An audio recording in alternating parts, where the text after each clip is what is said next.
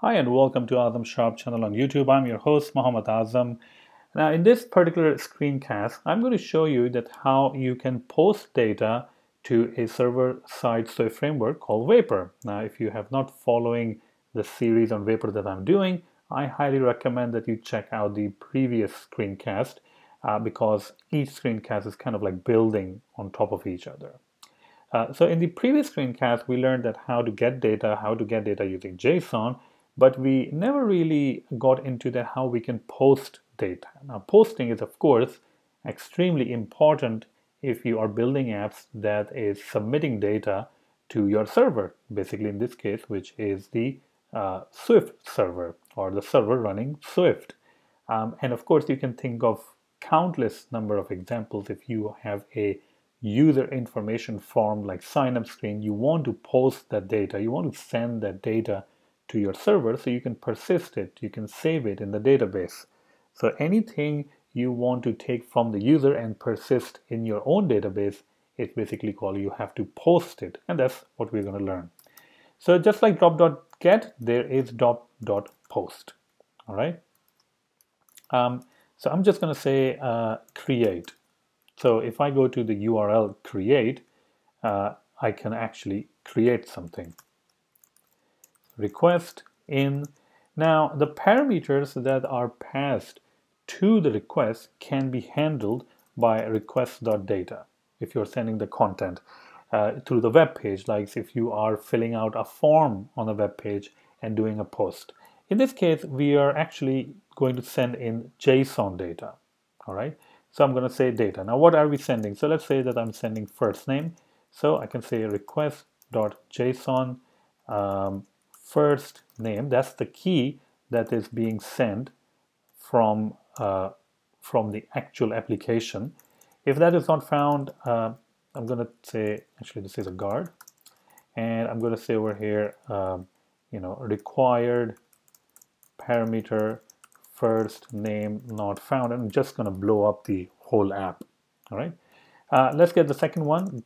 Second one will be last name, which is very similar to the first one that we did. Uh, and I'm just going to say last name and string. Else, if that is not found, we can simply say, all right, you know what, required uh, parameter last name not found. You can think of it as if you are building some sort of a registration screen uh, from your iPhone for your iPhone, which basically requires the first name and the last name.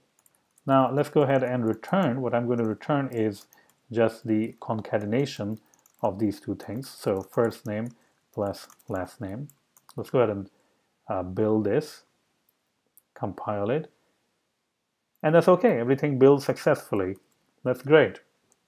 But we still need to check this. Like if I go to create and if I do a post and if I pass first name and last name, I should get a result back in JSON, which will be a concatenation between the first name and last name. So let's go ahead and run our server first, uh, and then we'll find out that uh, if we can actually invoke it. Now, the best way to invoke this is since we are posting data, uh, if I go over here in Chrome and I post it, it's not going to work correctly. It's going to actually blow up, right? Because it does require these parameters to be passed. So you have to pass in the first name and last name. Now you can use Postman or you can use any kind of HTTP client. I am using a HTTP client. I'm sorry, uh, it says create. So if I go to create, it might actually just say, you know, 404 not found. So I'm using HTTP client. This is called HTTP client, and you can download it from the App Store. Uh, the URL is the same URL with the create, just like the action name create. Uh, I'm posting it. The content type is very important. You have to tell what kind of content you're posting. Uh, first name Muhammad, and I think I have to pass in the last name also. So let's go ahead and do that. Last name, uh, Azam. There we go. And let's go ahead and invoke that. And here we go. We got the concatenation of two strings. Now there is a little bit of a no gap between over here, so let's go ahead and fix that. So here we go. I'm just going to concatenate with a little bit of a space and uh, send it back. Let's go ahead and start the server again, and this time uh, when you invoke this, you will see that uh, it has updated with a space in between. There we go, we got a space. So you can, if you want to send, you can send these values as a body in JSON and get the result back. So this is pretty cool because if you are running your iPhone app, you want to post some data, you want to create a customer, your customer needs to save something, or your user needs to save something on the server, they can actually post data and uh, they can get access to this. All right.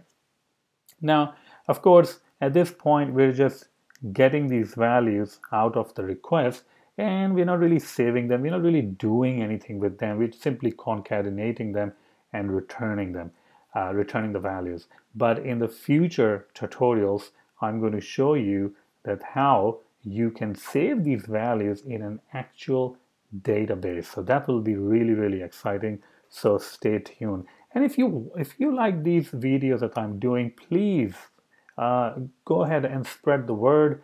Uh, donate something because all of these you know videos are basically uh, available for free on YouTube. Uh, and you can you can imagine, I mean, how much time and effort goes into each video. Uh, you know, documenting, researching, creating videos, number of trials, editing, and so much things that go into videos. So if you are feeling generous your support, uh, your donations are uh, basically always appreciated. Uh, and that will keep the videos uh, going, that will keep the screencast and channel alive. Uh, thank you very much and um, stay tuned for more.